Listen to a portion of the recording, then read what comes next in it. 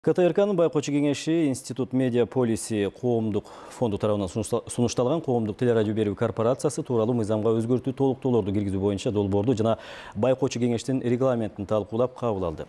Канал боюнча азыркы мыйзам эки жылы кабыл алынган бирок медиа полис фондунун директору бегайым мусенованын айтымында ал эскирди жана өзгөртүүлөргө муктаж. Негизинен медиа эксперттер мыйзамдын жаңы долбоорунда каналдын башкы директору бир мөөнөткө гана тагыраагы төрт жылга гана шайлануусу керек дешет талапкерди тандоодо да добуш берүү процессин ачык өткөрүү керектиги айтылды. Мында сырткары каналдын редакциялык саясатына мамлекеттик органдардын кийлигишүүсүнө байкоочу кеңештин мүчөлөрү партиялар менен кандайдыр бир уюмдарга анын ичинде диний уюмдарга мүчө болуусуна тыюу салынат.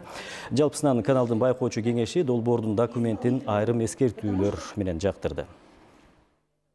Юристтерге биздин ыраазычылыгыбызды билдиребиз. Бирок мына бул жерден генеральный директорду шайлоо боюнча дагы сунуш айтылды. Мен бул жерде менин коллегаларымды колдойм. Анткени дегенде бул жерде эске алыш керек.